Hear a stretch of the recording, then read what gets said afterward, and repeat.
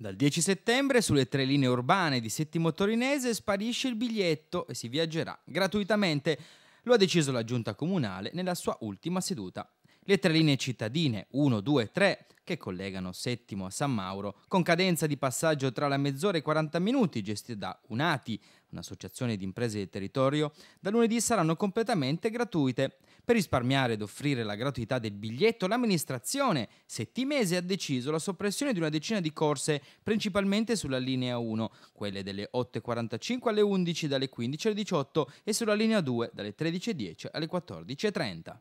ad accelerare i tempi di questa decisione anche in tagli imposti dalla Regione. Dunque dal 10 settembre sui mezzi pubblici di Settimo Torinese si viaggerà gratis,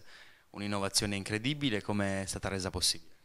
Ma questo provvedimento l'abbiamo deliberato martedì scorso, Noi avevamo, due fattori hanno determinato sostanzialmente questo provvedimento, uno è i tagli famosi della Regione sui trasporti che riguardano tutti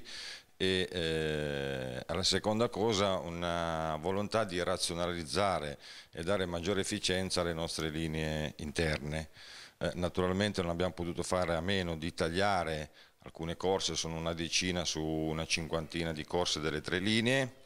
e, e abbiamo salvaguardato l'utilizzo dello scuolabus, quindi il servizio è rimasto integro senza tagli e tantomeno aumenti.